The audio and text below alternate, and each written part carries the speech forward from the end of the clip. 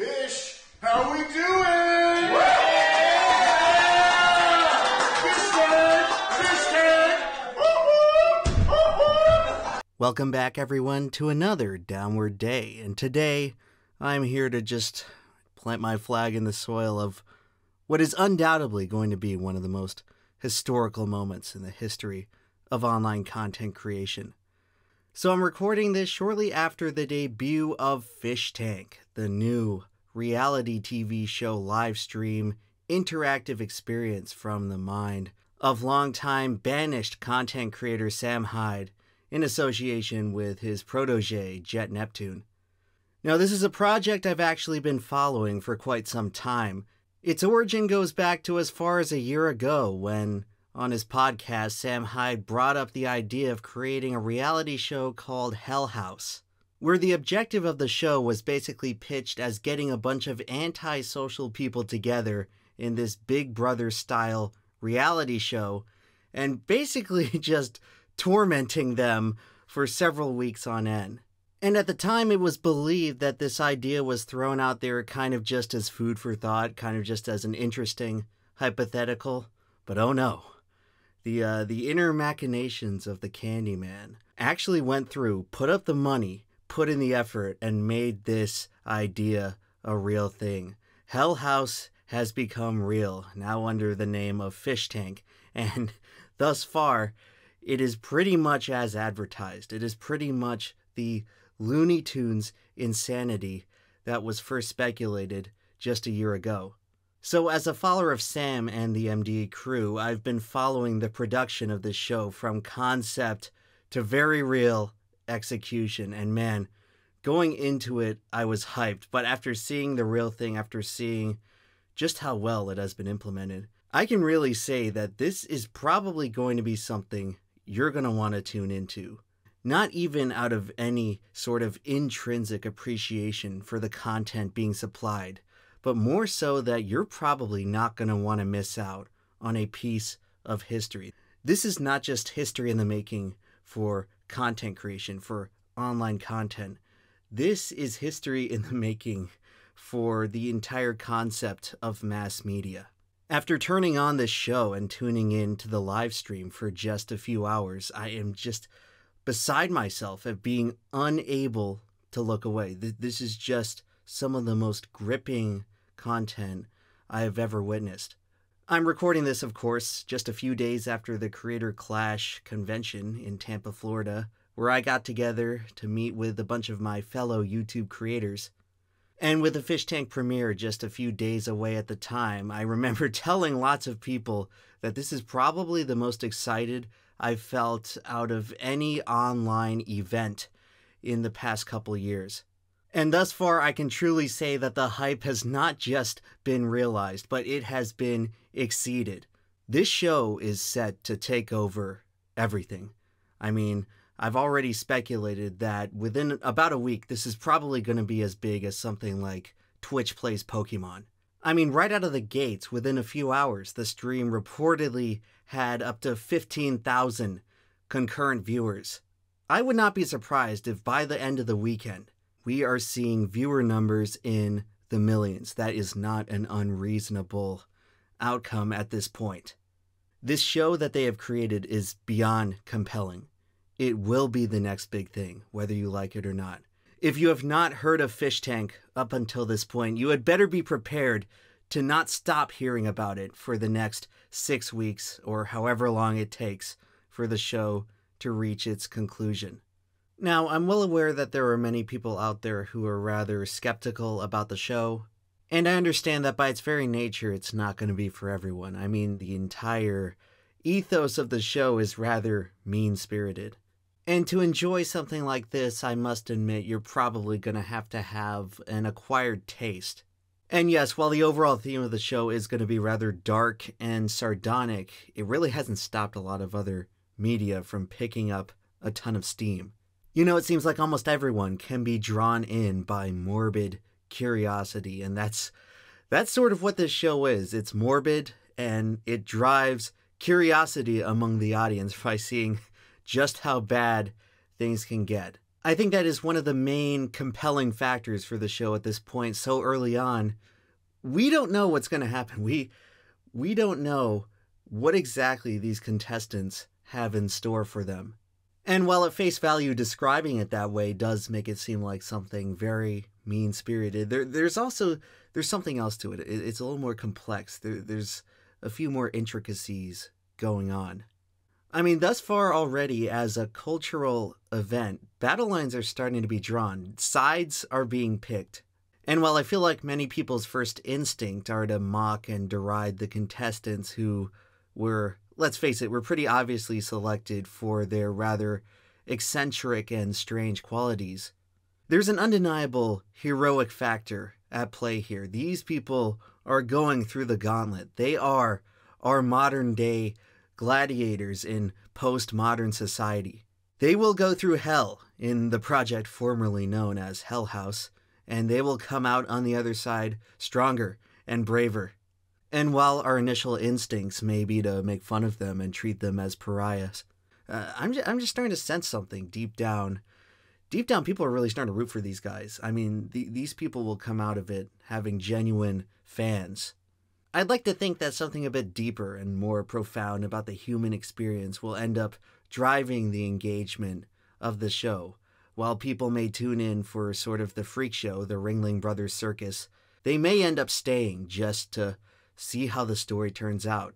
To get to know these people, these people we once thought were strange and unapproachable, to get to know them and follow their story and see them overcome some of the most absurd challenges that probably any reality TV show has ever concocted. I think that is something we will start to see as the series progresses.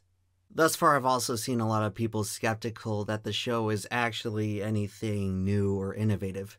The big comparison is obviously Big Brother. I've seen a few people say that this is just Big Brother but worse, Big Brother but with a lower budget.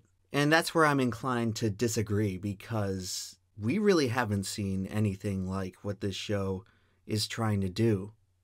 I suppose for the uninitiated out there, I'm obligated to express what is truly the main gimmick behind the show, and that is the factor of audience interaction. The audience can pool money together and pay to sabotage the contestants. They can make the house hot or cold, cut the power to the house, take away contestants' beds. This creates a completely unpredictable and ever changing obstacle that the contestants will have to deal with, which is something that you certainly won't see in a far more controlled show like Big Brother.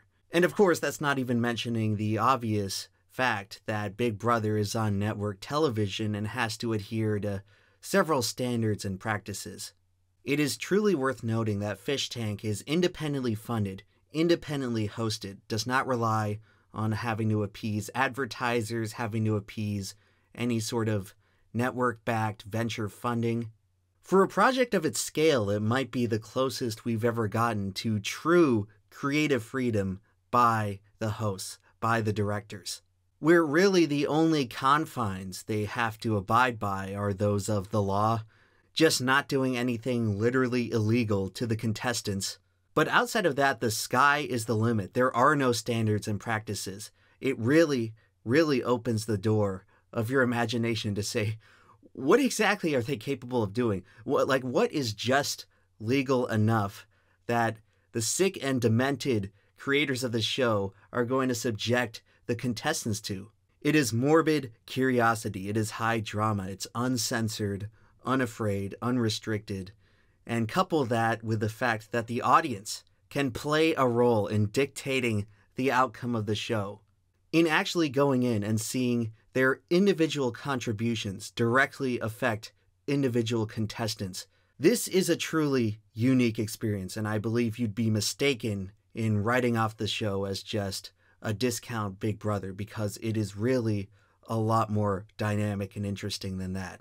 Thus far, already, by the viewers of the show, there's been a ton of speculation over just what exactly they can do with audience sabotage, over just what tools they're going to be given to mess with the contestants over the course of the show.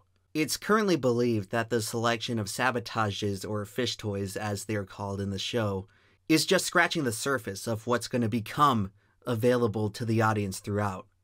Obviously, since we're at the very beginning of the show, you can't pull out all the best stuff immediately. You gotta kind of start out with a baseline of simple options while the audience and contestants are still getting used to the show, still getting warmed up.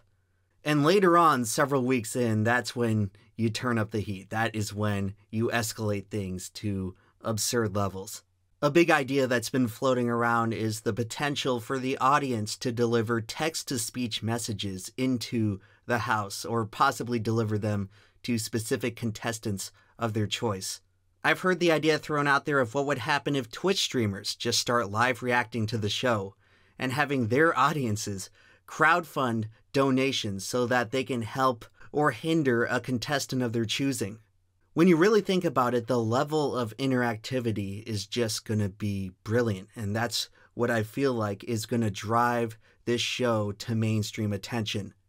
To have this level of audience participation in a broadcast this high profile with this high of a budget, it's unprecedented. I can't think of anything like it. I think uh, several years ago, Jerma did his uh, Dollhouse stream that had similar components to this, but um, Fish Tank, Fish Tank just takes that to a whole new degree. Eight contestants, eight unpredictable people. You guys better strap in because we are going for a ride over the next six weeks.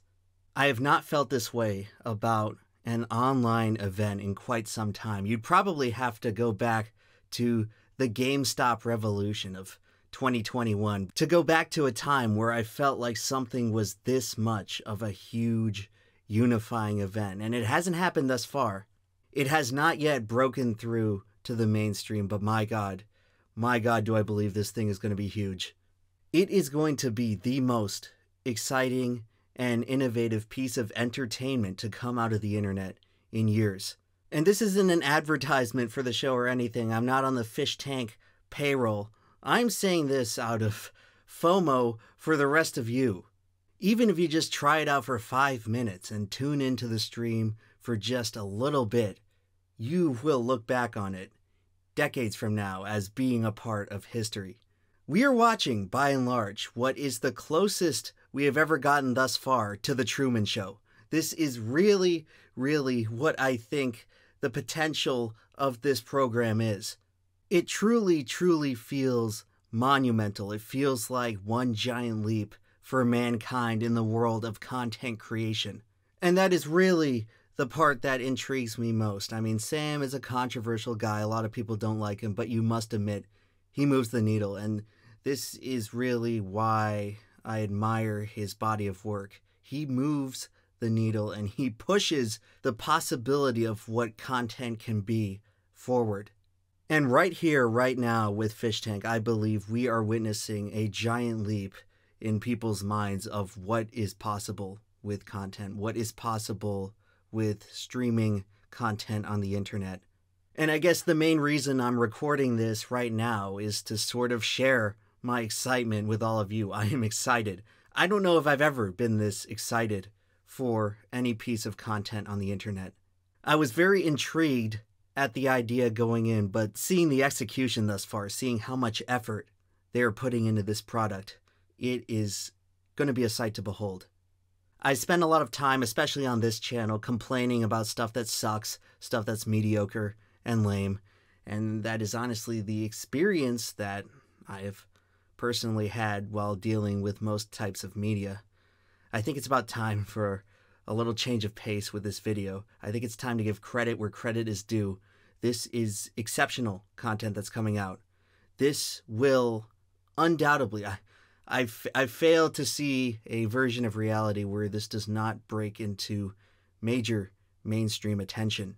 I just have the strongest gut feeling that this thing is going to break new ground in ways that we may not even comprehend yet. And just like Neil Armstrong, I am planting the flag. I am planting a flag saying that I was there.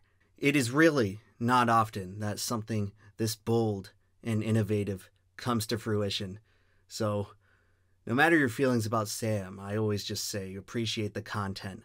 I've always been an objective content guy.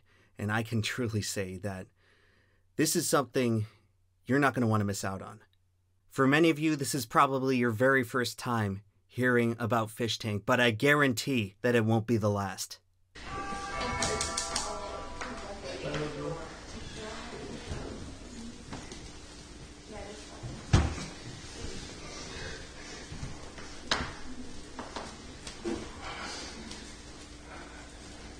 crispy.